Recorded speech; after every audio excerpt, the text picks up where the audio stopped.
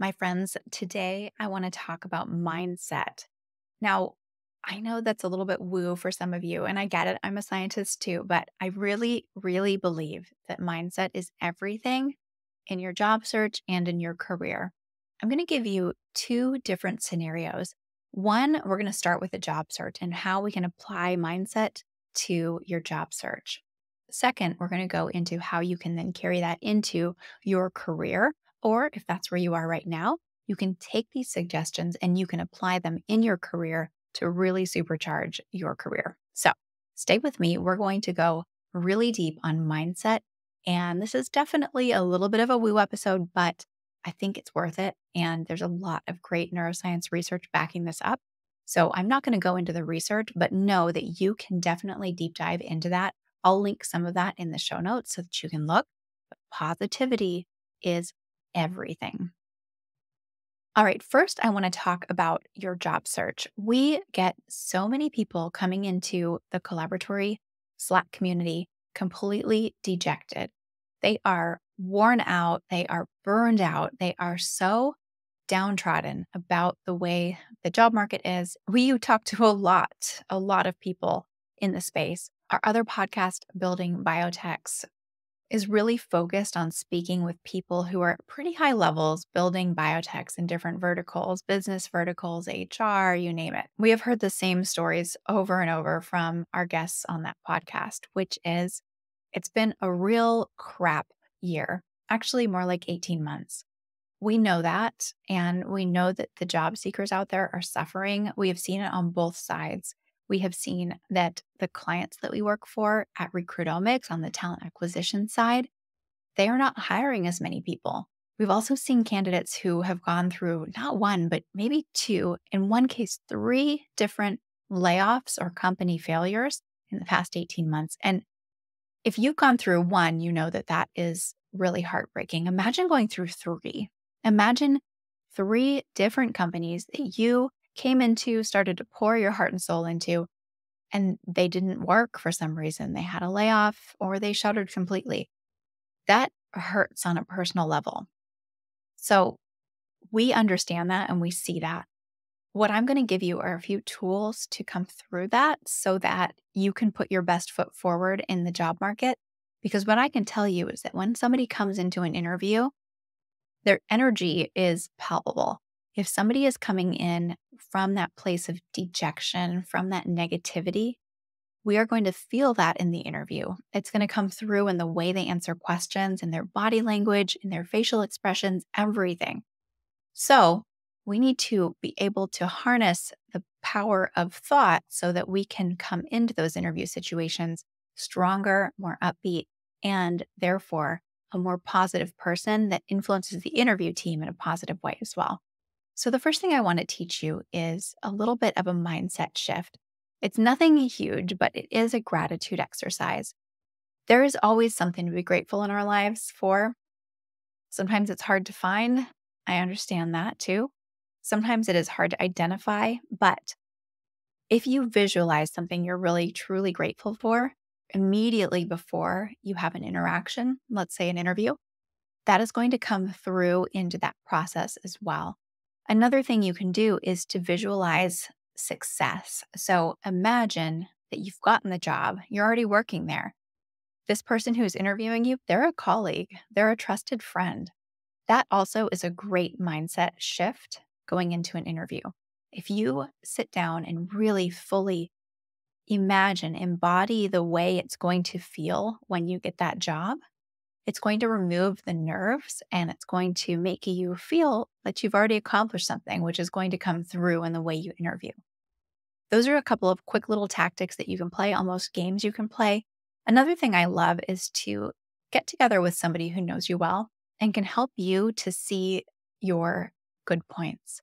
Sometimes it is hard when you've been laid off or when you have had maybe some rejections within the job seeking process to consider that you are worthwhile, that you have great redeemable qualities, that your skills are excellent. Let me be the first to tell you, if you haven't heard it already, that you are amazing. You have so much value. Your skills are very transferable if you're moving over into a new space. So internalize that for just a minute. Hear that. What's more powerful is to have a friend who can help you to see those things as well. So, get a really positive friend. Think about the person in your life who's just like the most upbeat, the most happy.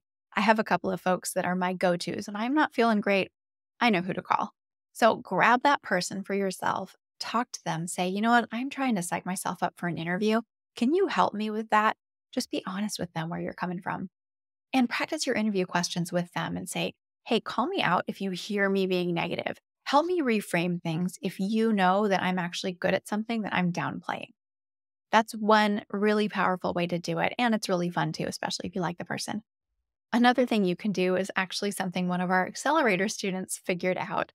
We use ChatGPT in our accelerator program. I teach people how to use it to help them brainstorm for their resumes, for their LinkedIn profiles, and now for interviews. But what what our student found out was this individual was feeling pretty down, feeling that their job search had been going on for a long time before they joined us and feeling dejected.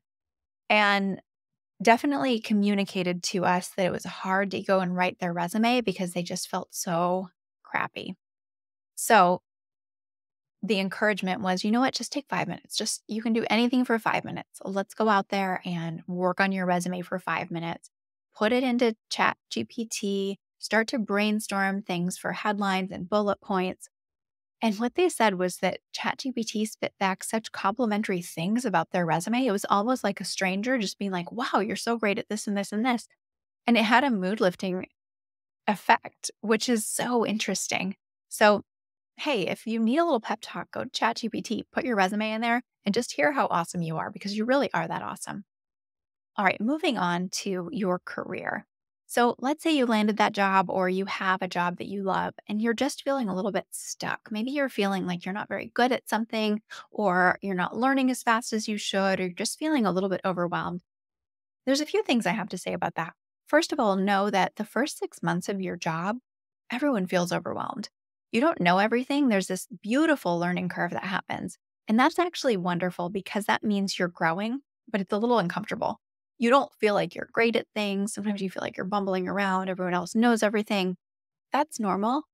And that's a time to really embrace because after that, when you start to know everything in the job, then it gets a little bit more mundane. It's actually the fun time when you are still learning and growing. So know that that's normal. But if you're feeling uncomfortable about it and you want to reframe that period of time, that discomfort, that is where your mindset really comes into play. You could reframe it into simply, what an adventure, what a gift that I am uncomfortable because it means I'm learning and growing. If I were not uncomfortable, I would be bored. That's one thing I do all the time. I think, you know what? At least I'm not bored. I would say that that's most of my job, right? Like I kind of go through my companies in a in a constant state of like, oh, a little discomfort, right? Oh, I got to learn this, I got to do this. Oh, I that's beyond my comfort zone. I'm new at this. Even making this podcast is it's scary. It's putting myself out there, right? It is not comfortable. But you know what? It's a gift because I am growing. I am learning and I am growing. So, that is one really powerful reframe. But here again, I'm going to say enlist that super positive best friend of yours. My best friend is just the most positive, wonderful person I can think of.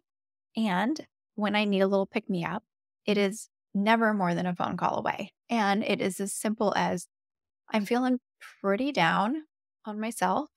I'm feeling like I'm failing at this or that. And I just need a pep talk. And usually that usually she's just a font of wonderful pep talky things. I am instantly soothed, I am instantly supported, and that is so powerful. So if you have someone in your life, maybe it is your mom, your best friend, your little brother, it doesn't really matter. Somebody in your life who can do that for you is invaluable. Another nice trick when you're in career is to set up regular meetings with your manager. And you'll hear me say this a lot through all different topics. But I think meeting with your manager on a regular basis is one of the best things you can do for your career on so many levels. If you have a good manager and you lay out your concerns and you say, Hey, I'm really enjoying XYZ in the job, but I feel like I'm really stuck and struggling and I'm not confident in this area here. This one area is really stressful for me because I don't feel like I'm excelling. That manager should be able to help you to put some tactics into place to learn, to develop, to grow in that one area that's really challenging for you so that you are set up for success. If you are honest about that, but framing it again, not in a, a way of, I'm failing here, but this is stressing me out because I don't feel like I'm maybe living up to your expectations or the expectations of the company. First of all, is that true? That's a story I'm telling myself, but is that true? And second, what can be done about it? So, a good manager will help you to, first of all, if that's not true and you are living up to their expectations, dispel you of that myth that you're telling yourself. Or if it is true, and you know what, sometimes it is, sometimes you aren't living up to all the expectations, and that is just human. That is normal. That is human. But aren't you glad you had this open conversation with your manager to get to the bottom of it? So if you are able to have that conversation with your manager and they say, you know what, yeah, we would love to see you excel in this area, let's get you some training. Let's get you some support, some mentorship, whatever the need is. Let's get that for you so that you are set up for success. That's the power of a good manager. Now, not everyone has a good manager, and I recognize that too. But this is the point where you can start to understand if you do or don't have a good manager. If you never speak up and advocate for yourself and have those meetings, you're not going to know if you have the type of manager that is going to be able to support you through those hard times, those challenging things that you need to learn. But if you find that you don't have a great manager and that you are not getting the support you need, that is valuable data too. We will address that in another podcast episode. I think that's a really valuable topic to think about managing up or managing yourself out. So, understanding what you're dealing with cannot be done without having those conversations with your manager first. So, get a regular cadence of meetings on the books. I recommend every other week at a minimum. If you have a really small company or you're in a small company with a smaller team, you may be able to get 15 minutes every week with your manager, and that would be so valuable to you. In other episodes, I'll talk about how to use those 15 minutes because it's not always going to be about solving for a problem or a gap in your knowledge. Sometimes you're going to be goal setting, sometimes you're going to be working toward a promotion. There are so many ways that you can use that time with your manager. But, for now, on this topic, that is where you can make sure that you are filling a hole that you see for yourself that is actually pulling your mindset downward, that is pulling you into a dark place because you feel like you're telling yourself a story that you are not excelling in your job. It may just be one area, one small thing, but that one small thing can manifest into a bigger thing within the context of your career that can hold you back professionally. All right, I wanted to leave it at that. It's a nice little short episode. I just wanted to give you a couple of quick tools that you can use, whether you're in a job search or in your career, to reset your mindset so that you can be successful no matter what you're doing. Mindset matters. The way you approach your work or your job interview matters. So take this to heart. And if you have any questions, jump into the community. I'm always there to answer all of your questions. Thanks so much, and we'll see you next week.